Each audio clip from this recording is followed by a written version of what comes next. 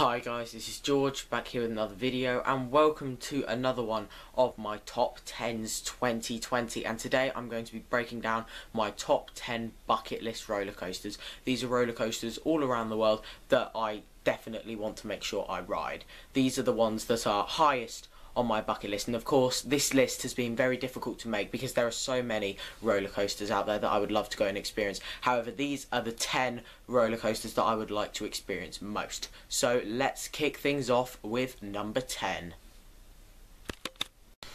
So then guys, number 10 is Formula Rossa at Ferrari World in Abu Dhabi. This is the world's fastest roller coaster, taking guests from 0 to 149 miles per hour in around 5 seconds.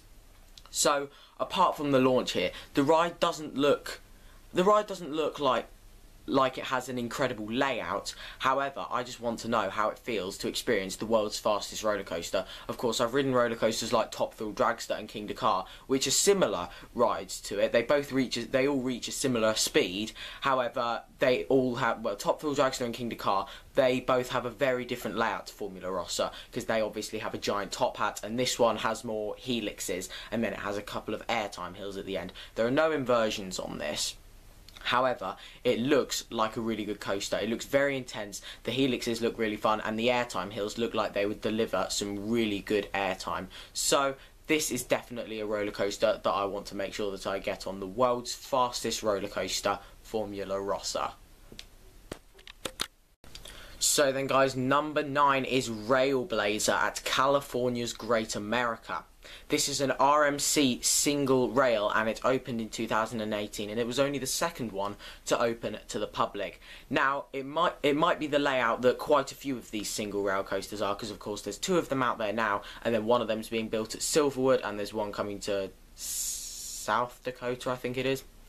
But these things look incredible. They look very aggressive. The way that they go through the elements is amazing. They look incredibly fast. They look like they have some of the best pacing on any roller coaster because of course they're not really actually insanely fast. However, when you look at it, it is very fast due to the way how these are made. So of course with this being a single rail coaster then it is only one guest per row and then this can seat eight guests per train. There are three inversions on this ride and it looks like a really snappy roller coaster. Sure it might not be the longest roller coaster out there however it looks really fun, snappy with some really good elements and as I mentioned, some of the best looking pacing on any roller coaster. So, my ninth bucket list roller coaster is Railblazer. So then guys, number 8 is Kondaa, which is the brand new Intamin Mega Coaster that will be opening at Walibi, Belgium in 2021. So, this is going to feature more airtime than any other steel coaster in the world which is incredible. It will feature around 15 seconds of airtime. It also has a twisted double down and it has a really weird turnaround as well. There are lots of different elements on this. There's also an outer banked turn on this that looks brilliant and the trains are some of the nicest trains I've ever seen on a roller coaster. They have a really nice nose car on here. As well as that, it looks like there's going to be some good theming around the coaster. We've already seen some of the theming around the station, and that's starting to look brilliant. And it's just started testing as well, and it looks incredible. Hopefully, in 2021, I will get out there and experience this. This is definitely a roller coaster I want to make sure I ride next year. Restraints look really nice. It's just one of those Intamin lap bars.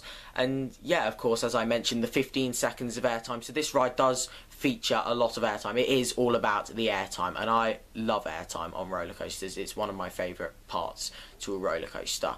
So there we go. Kondaa is definitely a roller coaster that I would like to experience.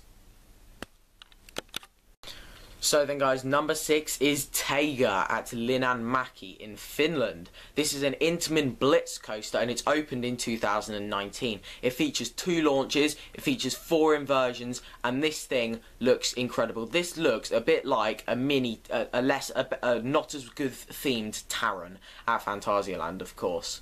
So of course I love the way this looks. So you've got the blue track with the black supports and then you've got the bird for the train, the big orange bird and in my opinion, it looks really nice. This is one of those rides that I'd love to just be able to stand next to it and watch it off-ride as well as ride it.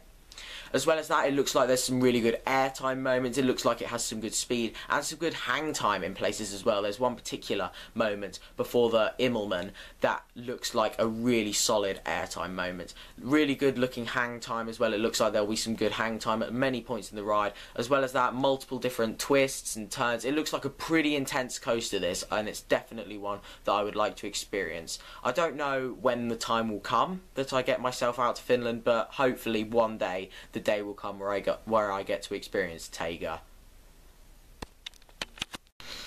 So then guys, number six is Orion at Kings Island. This is the B&M Giga Coaster that opened earlier this year. So of course, this one is this is one of those coasters where people think is it a hyper or is it a giga? Due to the fact that it has a maximum height of 287 feet. So therefore you may think it's a hypercoaster because a hypercoaster is a roller coaster that has a max height of between 200 and 300 feet. And then of course a giga coaster is a roller coaster that has a max height of between 300 and 400 feet.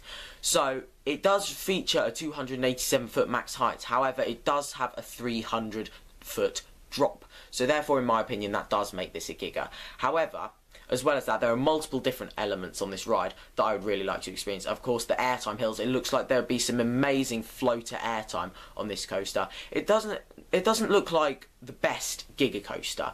Of course, there is Fury 325 does exist, and that does look like a better coaster. However, I'd rather ride this one because this one does definitely look better themed. So, of course, Cedar Fair have really started to get in there with the theming at them at, recently, and the queue line and and the overall area that Orion is in looks really well themed. So, I'd like to ride this because for the full package, because of course you go through the really well themed queue line and then you go on this incredible coaster.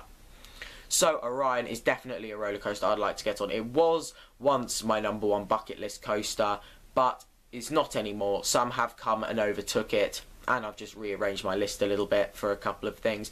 But this is still a roller coaster that I would love to experience, and it is still very high on my bucket list. Here we go. We're going over to Germany now to Phantasialand, and my fifth bucket list roller coaster is Taron at Phantasialand. This is an Intamin Blitz coaster that opened in 2016 and it might not feature any inversions, however it definitely makes up in terms of other elements, or it looks like it makes up in terms of other elements. So of course it features two launches and the theming around the area and around the coaster looks absolutely incredible. It's located in the themed area of Klugheim, I believe that's how it's pronounced, and the theming around this area looks absolutely stunning. So of course you've got all the waterfalls in there, you've got all the rock work, all the buildings as well. It looks incredible, and with how the coaster just weaves its way through all the buildings and under the path and then over the path and then into the, all the rocks, it looks like a really incredible overall experience. It's not just a coaster. This is a themed experience coaster, and that is why I want to ride it so much. As well as that, I've heard incredible things about it as well. The airtime looks really good on it. For there's, there doesn't seem like there would be many, there would be too many points where you get airtime. However, there looks to be a couple points where you get some airtime. But the main reason why I'd like to experience this coaster is because of just that the way it weaves it, like imagine like going through all the rockworks and then you're going through this building and then you're going up over the pathway and then you're dipping down underneath the pathway into this building. It looks like it would be stunning. This looks like a big. This looks like a big icon. Of course, it is manufactured by Intamin though. But Taron is definitely a roller coaster I would love to experience. It looks like an incredible roller coaster, and hopefully one day the day will come that I experience this. So then guys, number four is currently, as of recording, the only extreme spinning coaster in existence. So of course in 2018, Mack Rides built their first ever extreme spinning coaster and this is of course Time Traveller at Silver Dollar City. Now, this is kind of like their family spinning coaster. However, of course, this one features launches, it features inversions, and it looks like a really just weird ride. It, it, it's definitely something different. So of course this is kind of like a Mack Mega Coaster, however of course it's, a spinning coaster. So it features three inversions, it features two launches, it doesn't look like it has the most intense launches of anything. In fact it doesn't look like a particularly intense roller coaster. However, I would still love to experience this. The inversions look amazing and I'd love to experience what it feels like to be going through an inversion or all these other elements that this coaster has while spinning round. Of course, it, it features a vertical drop out the station as well. This coaster looks amazing, and of course we are getting an extreme spinning coaster at Plopsaland De Panne next year, so I look forward to experiencing that at some point. However, this one still looks absolutely incredible. So then guys, number three is Hypercoaster at Land of Legends or Flash at Lewa Adventure, I believe it's called in China. So these are, the reason why these are both on the same number is because they're clones. They're, they're both the exact same ride. So of course Flash is the one over in China and then Hypercoaster is located in Turkey. So my chances of getting over to Turkey are a lot higher than my chances of getting over to China. But this looks incredible. So this is these are both Mack Rides hypercoasters and they both feature the world's tallest vertical loop and it takes you over and it takes you 171 feet high, I believe. This vertical loop is massive. As well as that, it features a massive curved drop, features all sorts of airtime hills and a zero G roll as well. This coaster looks brilliant and the park looks brilliant as well. It's definitely a park that I would love to go to and this is definitely a coaster I'd love to ride. Of course I have experienced a few different roller coasters manufactured by Mack Rides, however this one definitely looks to be, in my opinion, the world's greatest Mack Rides roller coaster. And of course, if I ever get to ride this, I'll be making my judgment judgment on that on if I think it's the world's best Mack coaster. However, it definitely looks like it could be the best. Of course, DC Rivals does exist, but this one still looks stunning. And that loop looks like something else. The amount of hang time that you must get on that loop looks absolutely amazing. The zero g roll looks really good as well and it looks like it has some really good speed going through the coaster as well. And one of the best things it doesn't look like it loses that speed. A lot of roller coasters towards the end it'll lose the speed it once had. However this one looks like it just keeps going and going and going and it doesn't slow down until that final brake run. This looks like an incredible coaster and hopefully I'll get to experience it someday. So then guys, we have got to number two, and number two is Jersey Devil coming to Six Flags Great Adventure in 2021. Of course, this was supposed to be their coaster for 2020, however, things happened, and obviously it couldn't open this year. This is going to be the tallest, fastest, and longest single rail coaster when it opens, and as of recording, it is the only one that we know is opening with a different layout. Of course, there's a few with the same layout as Railblazer and Wonder Woman. However, this one has a completely different layout. It will feature an 87 degree drop. There'll be three inversions on this coaster. It will reach a top speed of 56 miles per hour, and this thing looks amazing. The airtime on this thing looks amazing. The elements look amazing, and of course, just like with Railblazer, it looks like it flies through the layout.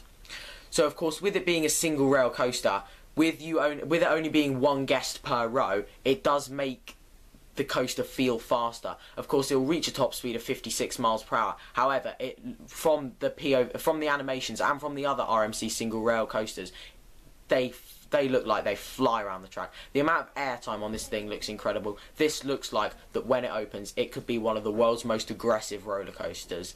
But there we go. Hopefully one day I will get to experience this coaster. Of course, I have been to the park before. However, obviously I've not ridden this, and I don't I don't know when the time will come that I ride it, but hopefully it'll be sooner rather than later. It definitely, in my opinion, looks like it will be the world's best single rail coaster.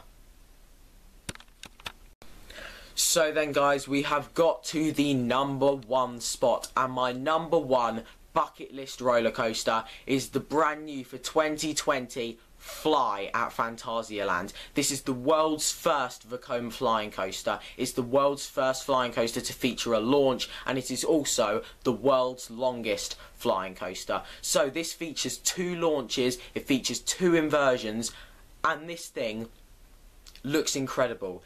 This is basically the Vekoma flying coaster version of Taron with, with of course it weaves its way through all the buildings underneath the path and over the path and then you've got the sections where you go into the parts where you can't see from the paths. From what it looks like in the area you can't actually see too much of the coaster. And of course there is the amazing hotel in that area Hotel Charles Lindbergh which has recently opened. And from the top of that balcony you can get some um, from the top of the hotel you can get some amazing views over the coaster it, this doesn't look like to be the tallest or fastest flying coaster. However, it definitely makes up for it in other ways because the look of this coaster, it looks amazing. The area it's in is amazing. This coaster looks absolutely stunning, and if there is one roller coaster that I really, really want to experience out there in the world, it is Fly at Phantasialand this thing looks incredible and of course it recently won the award for best roller coaster of 2020 that opened in 2020 it looks incredible, and of course, with this flying coaster as well, it's a bit different to a B&M. How with a B&M, it'll tilt you into the flying position in the station, and then you won't tilt out of that flying position until you go back into the station. However, with this one, you'll leave the station in a normal position. It'll tilt you into a flying position as you're on your way to the launch, and then when you reach the brake run, it puts you back into a normal position so you're not waiting on the brake run for ages in that flying position because of course that gets a bit annoying on B&M flying coasters. I know on Galactica I've been waiting on the brake run for a while in that flying position and it's not the most comfortable in the world so at least you do get to be lowered back down into that normal position if you're stuck on the brake run but of course with Phantasialand you're not going to be stuck on the brake run are you? The, the Phantasialand look like they have great operations but this coaster looks stunning. Hopefully the time will come one day that I get to experience this incredible looking coaster. So then guys, that is now the end of this video here. Thank you very much for watching. Make sure to follow me on Instagram at George Kelly Roller Coasters, George William Kelly and George Kelly Animals. Message me on Snapchat at George Kelly. Follow me on Twitter at George Kelly. And check out my other YouTube channel at Wealthy Eagle if you if you of course this list is my opinion if you want to leave your top bucket list coasters in the comments feel free to i would love to know if you agree with me, if you disagree with me, and what coasters would be on your list. Thank you very much for watching. Make sure to like, comment, share, and subscribe. Stay safe, everyone, and I will see you all later. Bye.